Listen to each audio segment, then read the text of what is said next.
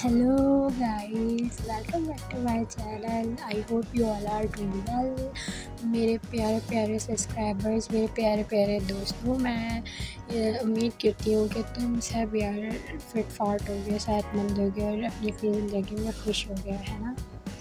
खैर, दुख तो बहुत है, सबके पास बट खुश रहना खुद को आना चाहिए। यार देखो, आज मैं ये जो ड्राइंग बना रही हूँ, ये जो है सनसेट व्यू कुछ है मतलब कुछ नहीं सनसेट व्यू ही है इसको बनाने बनाया है मैंने। ये सॉफ्ट पेस्टल से बनाया है मैंने और यार ये जो है ना बहुत जिन लोगों ने यूज़ किया है, उनको पता होगा, ये चॉक लाइक चॉक टाइप की तरह होता है, इसको कैरी करना बड़ा ही कोई डिफ़िकल्ट होता है। मतलब ये जहाँ जहाँ लगता है, आप इवन कि आप अपनी फिंगर से इसको ब्लेंड करते हो फिंगर से सबसे जब, मुझे ऐसा लगता है कि सबसे ज़बरदस्त फिंगर से ही ब्लेंड होता है। और किसी चीज़ से मतलब जो लाइक टिशू ले लो या मुझे ऐसा लगता है कि टिशू से ना ज़्यादा मतलब जो है ना आपका कलर ज़्यादा टिशू में आ जाता है और आप उस चीज़ पे आपका इतना कलर इफ़ेक्ट नहीं आता। ठीक है तो मैं तो प्रेफर करती हूँ कि यार मतलब आप अपनी फिंगर से ही जो है ना, इसको ब्लाइंड करो। और कोई ऐसी मतलब एरिया होता है, जैसे लाइक स्पेस कम होती है तो फिर मैं ना कॉटन बग यूज़ करती हूँ उसको ब्लाइंड करने के लिए। उससे भी काफ़ी अच्छा से मतलब हो जाता है, क्योंकि उस उधर फिंगर हमारी यूज़ नहीं हो सकती। खैर तो इसको ना जब मैं बता रही थी, जिन लोगों ने यूज़ किया, वो जानते हैं इसको यूज़ करने की कुछ टेक्निक्स होती हैं, क्योंकि लाइक ये चौक और डस्टी टाइप होता है। मतलब इसको आप जब कागज़ पे करते हैं, जैसे चौक हम बोर्ड पे कभी लिखें तो चौक जैसे यूँ करके उसका क्या कहते हैं यार, जो भी कहते हैं, वो आता है डस्ट टाइप ना।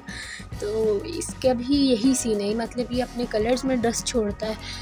तो मतलब जैसे अगर ये मेरे हाथ पे कहीं लगा और ये हाथ मैंने कहीं पेज पे रख दिया, ये इस मतलब इस स्केच बुक पे कहीं रख दिया तो वो वहाँ पे आराम से लग जाता है। तो और इसका जो जो डार्क शेड्स होते हैं ना, उनको कैरी करना तो यार बड़ा शुरू शुरू में तो मुझसे नहीं होता था। मेरी मतलब मैंने जो इन स्टार्ट मैंने इसका स्टार्ट लिया था जब मैंने शुरू तो यार मैंने बड़ी कोई ना मतलब बड़ी नहीं मतलब क्या लो कि मैंने एक, दो, एक या दो तकरीबन स्टार्ट में यार सभी सीखते हैं, सभी से ख़राब होती है, मुझसे भी ना ख़राब हुई मतलब इसकी मुझे मुझे ना टेक्निक समझ में नहीं आई थी मुझे ये टेक्निक समझ में आई जो ब्लैक शेड्स पे जो डार्किश टोन पे कलर होता है ना, उसको आप जो है ना लास्ट में यूज़ करो और उसको यूज़ करने के बाद इसके बाद कोई और कलर उसके साथ ना छेड़ो मतलब अगर आपने और लाइट कलर यूज़ करना है ना, पहले वो लाइट कलर सब कर दो। पूरी ड्राइंग कंप्लीट कर लो अपनी। और उसके बाद जो है, फिर वो जो है ना ब्लैक कलर का जो भी है डार्क शेड का जो भी डार्क जैसे वैसा डार्क ब्लैकिश ब्राउनिश इस टाइप के जो होते हैं, वो उसके बाद में यूज़ करो।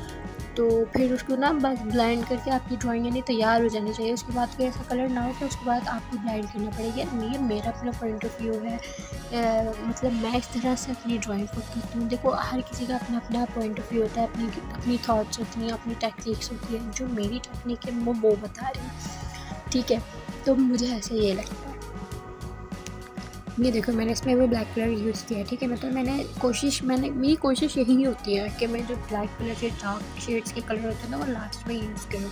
मतलब जो ब्लैक ज़्यादा ब्लैक ही डार्क कलर होता है मेरी उसमें ड्राइंग में।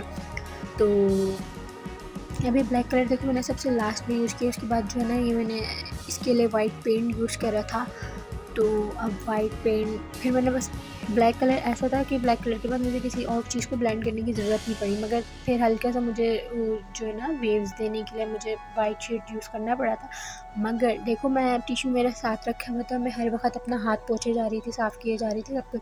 मगर जब मैंने वाइट कलर उसको ऐड किया नीचे तो मैंने वो फिंगर्स यूज़ नहीं करी। हालाँकि मेरी फिंगर्स थोड़ी सी मतलब मैं टिशू से साफ़ की थी, मगर मैंने फिर भी फिर भी मैंने वो फिंगर्स यूज़ नहीं करी। मैंने दो फिंगर्स ऐसी यूज़ करी थी जो मैंने अभी तक यूज़ नहीं करी थी। ठीक है? देखो, अगर आप लोग को वीडियो पसंद आना तो प्लीज़ लाइक कॉमेंट शेयर और सब्सक्राइब भी कर दिया करो। Thank you bye bye love